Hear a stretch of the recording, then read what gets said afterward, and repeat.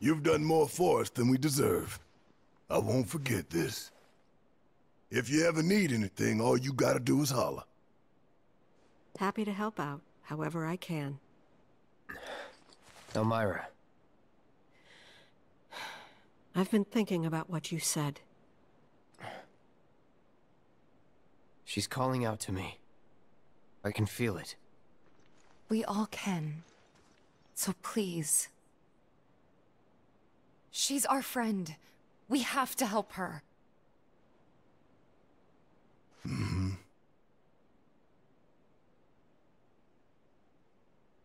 I always knew it was coming. Knew that one day I'd have to say goodbye to my baby girl. But not yet. Please, bring her back to me. Hmm. Daddy! Hmm? Marlene. Are you going? Um,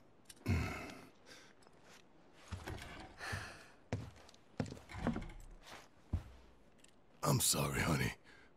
I wish I didn't have to. I wish I could be with you all the time. I really do. But if I stay here, I can't fight out there. Hmm? Some bad people are trying to hurt the planet. And Daddy, Daddy and his friends are trying to stop those bad people. The slums, your friends, the whole planet. It's Daddy's job to protect it. Hmm?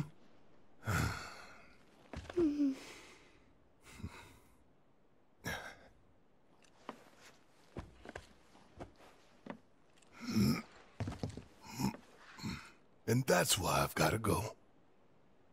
You remember that nice girl who came to find you? Well, now we have to go find her.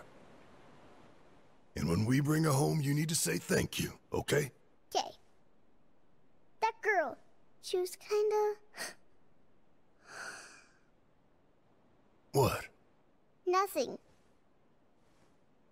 You should help her. We will.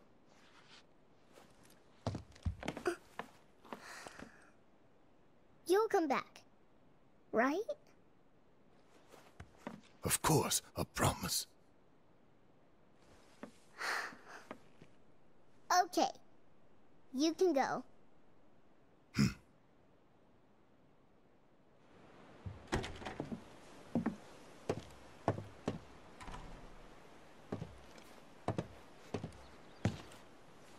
Barret. She's tougher than me. All right. Time to get some payback. Don't forget why we're doing this. I know, I know. To rescue Aerith.